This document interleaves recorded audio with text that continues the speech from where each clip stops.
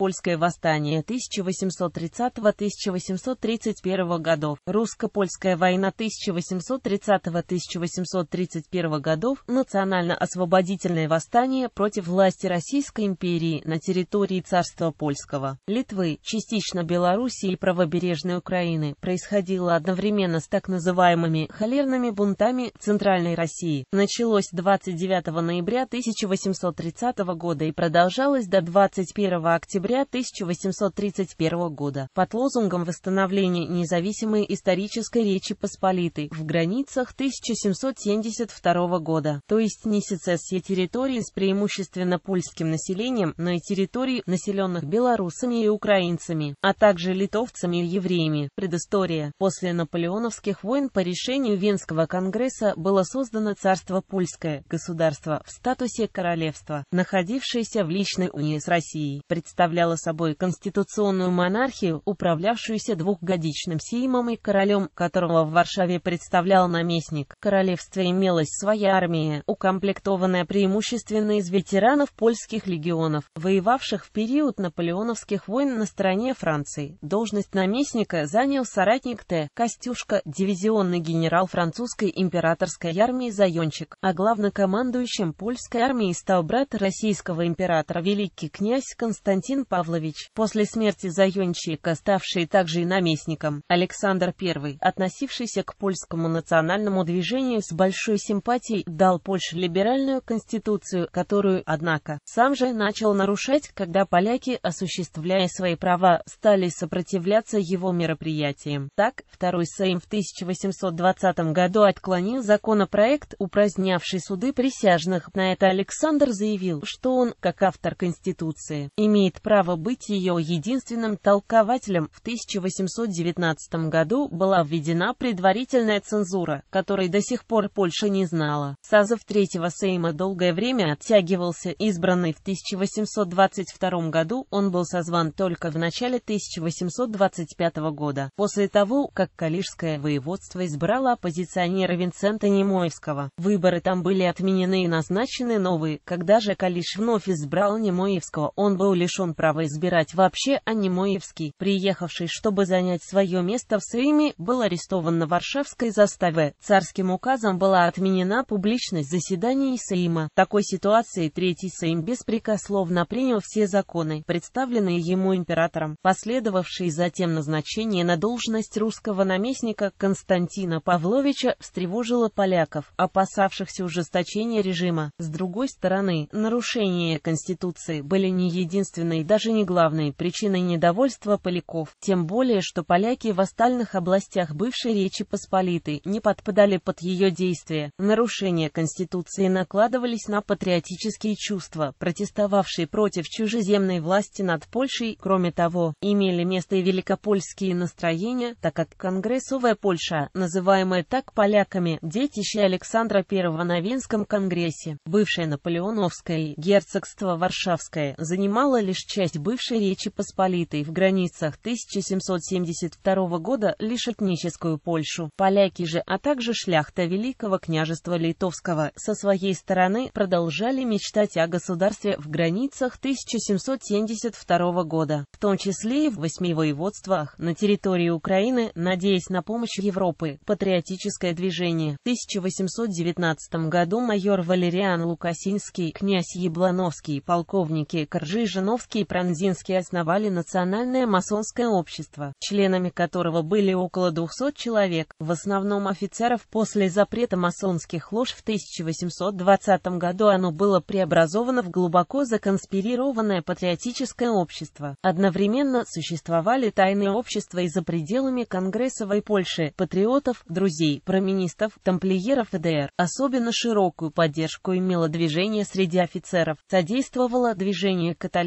католическое духовенство, в стране от него оставалось лишь крестьянство. Движение было неоднородно по своим социальным целям и разделилось на враждебные партии, аристократическую и демократическую, главой которой считался профессор Лилевин, лидер и кумир университетской молодежи, ее военное крыло впоследствии возглавил подпоручик гвардейских гренадер Высоцкий, инструктор школы подхорунжих, создавший законспирированную военную организацию уже внутри самого национального движения. Однако Однако их разделяли лишь планы о будущем устройстве Польши, но не о восстании не о ее границах. Двукратно представители патриотического общества пытались войти в сношение с декабристами, но переговоры не привели ни к чему. Когда заговор декабристов был открыт и была обнаружена связь с ними некоторых поляков, дела последних было передано административному совету, который после двухмесячных совещаний постановил освободить обвиняемых. Надежды поляков немало оживились после объявления России войны Турции. Обсуждались планы выступления, ввиду того, что основные силы России были задействованы на Балканах. Возражение состояло в том, что такое выступление может помешать освобождению Греции. Высоцкий, как раз тогда создавший свое общество, вошел в сношение с членами других партий и назначил сроком восстания конец марта 1829 года, когда, по слухам, должно было состояться коронование императора Николая I короной Польши. Было решено убить Николая, а причем Высоцкий вызвался лично осуществить акцию. Коронация, однако, состоялась благополучно. План не был осуществлен. Подготовка восстания, июльская революция 1830 года во Франции привела польских националистов в крайнее возбуждение. 12 августа состоялось собрание, на котором обсуждался вопрос о немедленном выступлении. Выступление, однако, было решено отсрочить, так как следовало склонить на свою сторону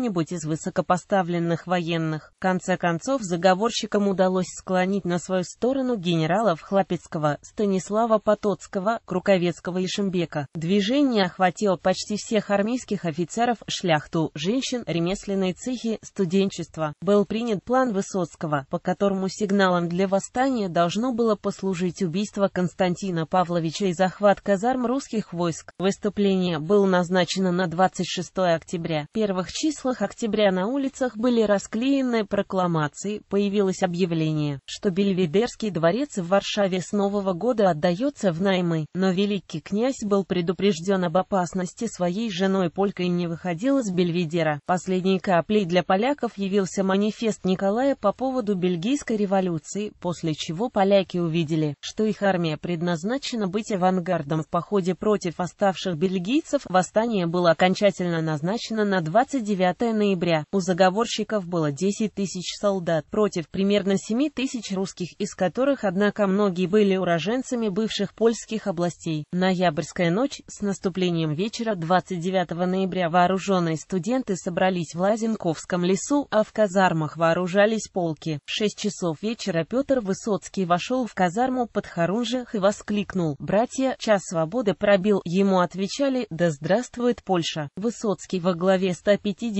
подхорунжих напал на казарму гвардейских улан, тогда как 14 заговорщиков двинулись к Бельведеру. Однако, когда они ворвались во дворец, оберполицмейстер Любовицкий поднял тревогу и Константин Павлович успел бежать и спрятаться. Впрочем, эта неудача не оказала влияния на дальнейший ход событий, так как Константин, вместо того, чтобы организовать с помощью наличных сил энергичный отпор восставшим, проявлял полную пассивность. Нападение Высоцкого на казарму Улан также провалилось, однако вскоре к нему пришли на подмогу 2000 студентов и толпа рабочих. Восставшие убили шестерых польских генералов, сохранявших верность царю, был взят арсенал. Русские полки были окружены в своих казармах и, не получая ниоткуда приказов, деморализованы. Большинство польских полков колебалось, сдерживаемое своими командирами. Константин вызвал к себе русские полки, и к двум часам ночи Варшава была очищена от русских войск. После этого восстание разом охватило всю Польшу. Константин, объясняя свою пассивность, говорил, «Я не хочу участвовать в этой польской драке, имея в виду, что происходящий конфликт исключительно между поляками и их королем Николаем. Впоследствии, во время войны, он даже демонстративно проявлял пропольские симпатии. С ним начали переговоры представители польского правительства, в результате чего Константин обязался отпустить бывшие при нем польские войска, не призывать к себе войск литовского корпуса и уйти за Веслу. Поляки, со своей стороны, обещали не тревожить его и снабдить припасами. Константин не просто ушел за Веслу, а вовсе покинул царство польское, крепости Мадлины и Замостье были сданы полякам, и территорию царства польского покинули войска Российской империи, организация правительства. На следующий день после начала восстания, 30 ноября, собрался административный совет, бывший в растерянности. В своем воззвании он определил переворот как событие столь же прискорбное, прискорбное, сколь и неожиданное, и пытавшийся делать вид, что управляет от имени Николая. Николай, король польский, ведет войну с Николаем, императором всероссийским. Так охарактеризовал обстановку министр финансов Любецкий. Тот же день образовался патриотический клуб, потребовавший чистки совета. В результате ряд министров был изгнан и заменен новыми. Владиславом Островским, генералом Камалаховским и профессором Лиливелем, генерал Хлапецкий был назначен главнокомандующим. Сразу же обозначились резкие разногласия между правым и левым крылом движения. Левые склонны были рассматривать польское движение как часть общеевропейского освободительного движения и были связаны с демократическими кругами во Франции, совершившими июльскую революцию, они мечтали об общенародном восстании и войне против всех трех монархий, разделивших Польшу. В союзе с революционной Францией правые были склонны искать компромисс с Николаем на основе Конституции 1815